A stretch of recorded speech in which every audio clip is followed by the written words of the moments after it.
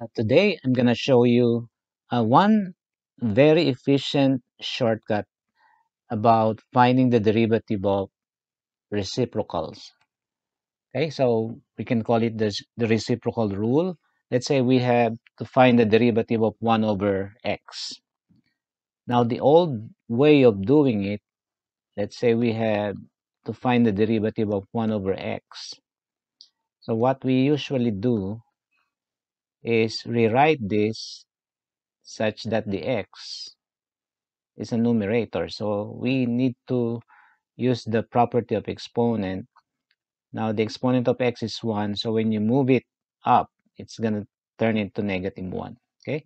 Now we can use the power rule to find its derivative. So we say negative 1 times the number 1 in front of that x which is negative 1, x raised now to negative 2, negative 1 minus 1. And then we express this to positive exponent. So we say negative 1 over, so we're going to move this down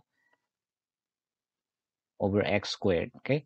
So this is the derivative of that 1 over x.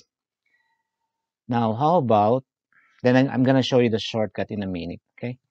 How about if we have to find the derivative, say, of um, 1 over,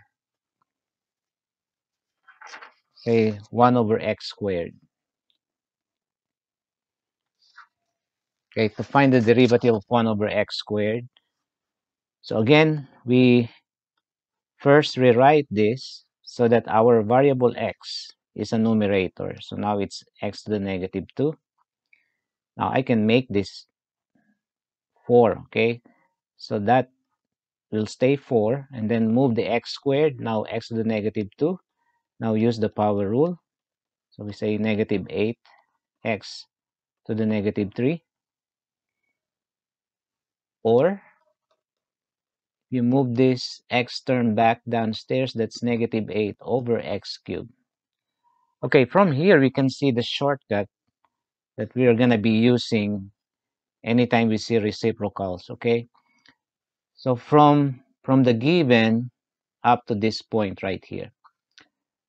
So next time you see reciprocals and you get the der derivative of that, so what you do, first you switch the sign, okay? So the original sign is positive. The derivative is going to be negative this time, okay? So you switch the sign first. And then what you do next is multiply this constant on the numerator 4 okay multiply this 4 by this 2 which is 8 okay that will be your numerator. And then this bottom number is going to be that x squared but you have to add 1 to that 2 okay? So 3 as easy as that.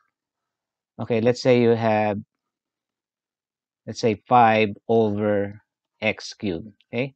So what is the derivative? Using the shortcut first we switch the sign so from positive our derivative is now negative. And then multiply the 5 and 3.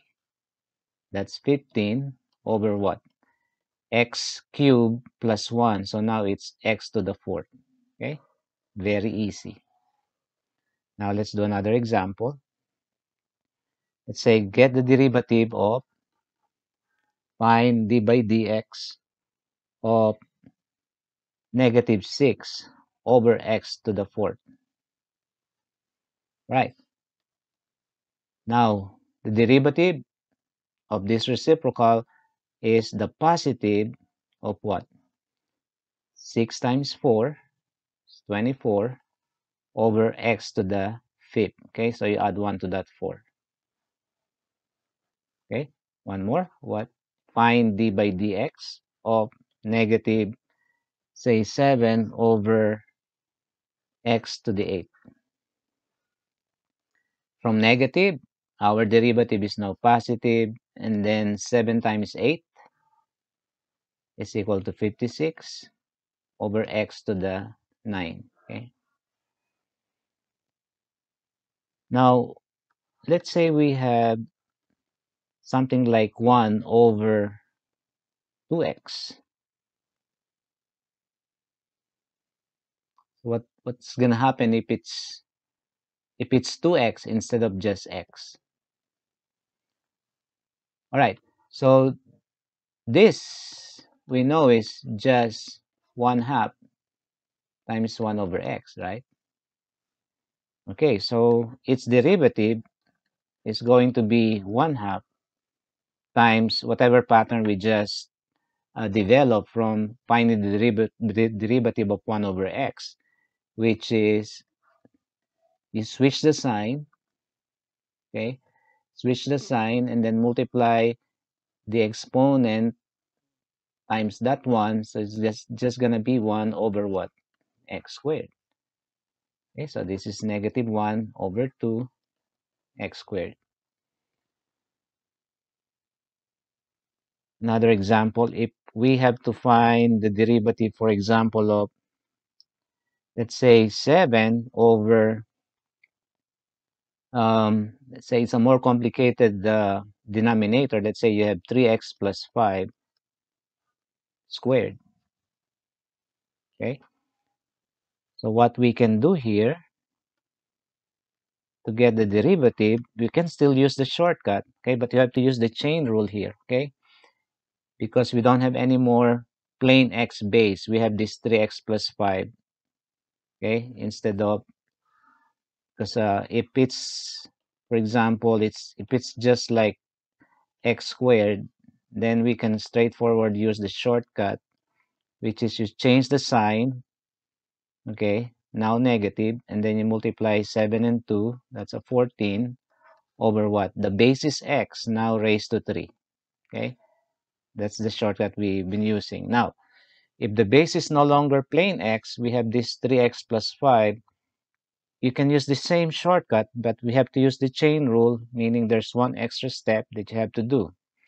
All right, so just like the shortcut we have here, we change the sign to negative, and then you multiply 7 times 2 that's 14 over that same base 3x plus 5 now raised to 3 okay that one extra step means you get the derivative of this base okay which is 3 and then you multiply everything by that number 3 all right so that's the only extra step you need to do and then multiply this 14 and 3 that's guess 42 over 3x plus 5 to the third power. Okay. Now let's do one last example. Let's say we have say 3 negative over uh, 4x squared plus 3 say to the fourth.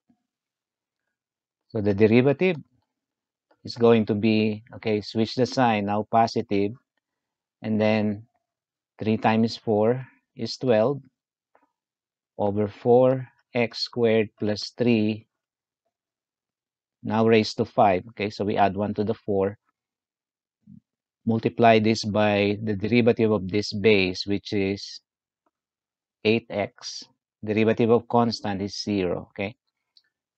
And there you go that's the derivative. 16x over 4x squared plus 3 to the fifth. Very easy. All right, so I hope you learned something from this uh, tutorial and thanks for watching. See you again next time.